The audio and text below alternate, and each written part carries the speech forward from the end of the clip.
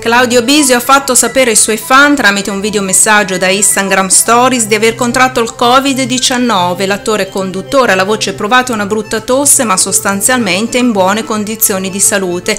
Il suo nome si aggiunge alla lunga lista di star e celebrità che in questi mesi hanno dovuto fare i conti con il coronavirus, da Carlo Conti a Jerry Scotti. Non mi piace quasi mai raccontare cose legate alla mia vita privata, però questa cosa ve la volevo dire. Da qualche giorno sono positiva al Covid, niente di grave, penso e spero. Non ho febbre, solo una tosse fastidiosa ogni tanto, un po' di voce abbassata, come sentite, ma sto bene, sto lottando.